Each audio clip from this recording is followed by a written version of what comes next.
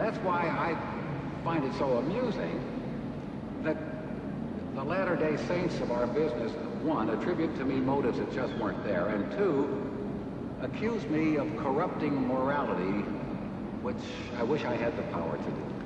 Prepare to die.